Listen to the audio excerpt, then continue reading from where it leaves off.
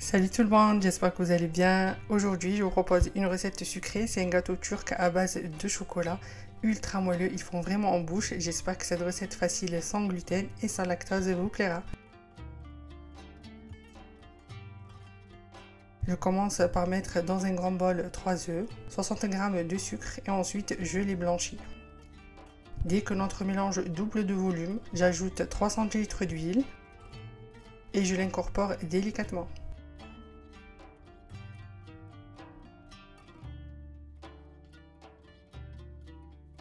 Dès que c'est fait, j'ajoute 30 g de farine de riz, 20 g de maïzena et 10 g de cacao. Il faut bien tamiser le cacao et la maïzena pour éviter d'avoir des grumeaux dans notre pâte.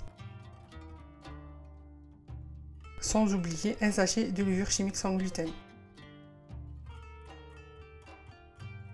Je les incorpore délicatement aussi et ensuite je verse ma pâte dans un moule que j'ai fariné et beurré au préalable.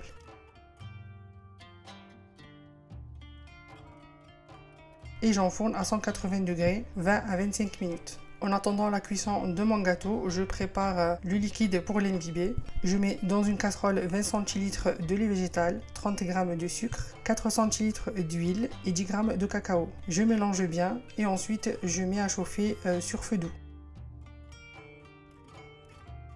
Dès que mon mélange est bien chaud, j'éteins le feu et j'ajoute 70 g de chocolat noir. Je mélange jusqu'à ce que le tout soit bien homogène.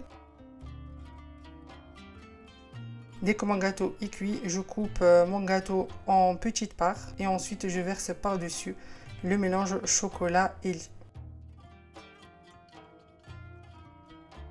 Je laisse refroidir tranquillement à température ambiante et ensuite je le mets environ 1 à 2 heures au frais. J'ai mis par-dessus une demi-fraise, mais après vous pouvez mettre de la noix de coco par-dessus, des pistaches concassées. Vous mettez un peu ce que vous voulez. Et les amis, ce gâteau, ils font vraiment en bouche. J'espère que vous allez tester cette recette.